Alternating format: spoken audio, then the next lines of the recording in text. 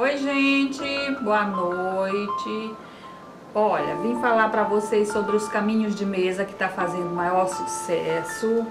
Eu não sei se vocês já viram aqui no meu blog é, os caminhos de mesas desenhados, prontinhos só para pintar. Eles só não vão com os crochês, mas eles vão com o desenho do jeito que vocês quiserem.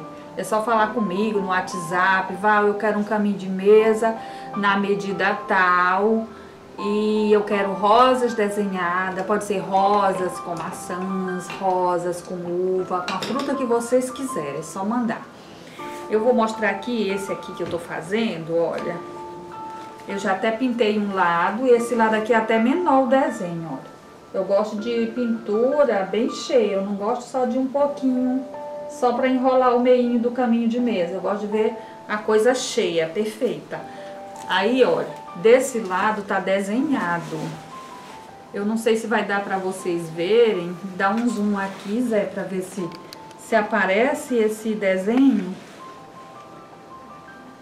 Ó, inclusive esse lado aqui, esse, esse que eu tô mostrando, é bem maior o desenho, ó.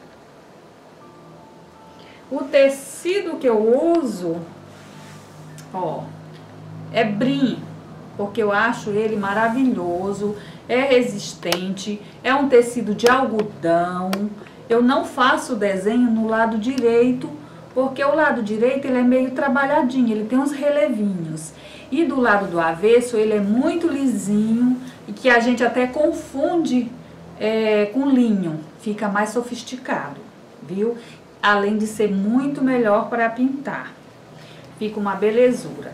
Os caminhos, eles vão desenhados com, com o tema que vocês quiserem. Eles só não vão com crochê, com, aí, com esse acabamento.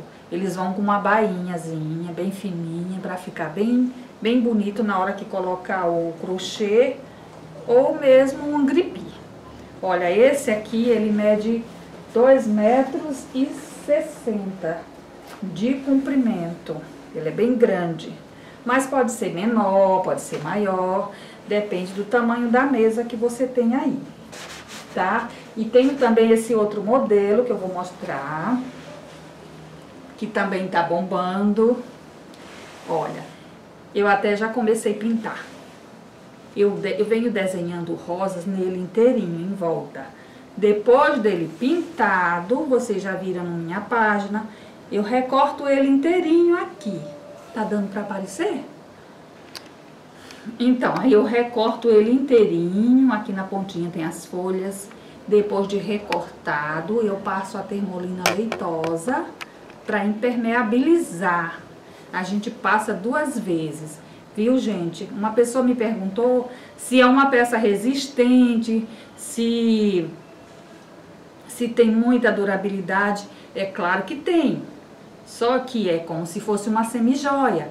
Tem que ter muito cuidado, não jogar na máquina para lavar, lavar a mão mesmo. Lembrar que é uma peça decorativa, tá?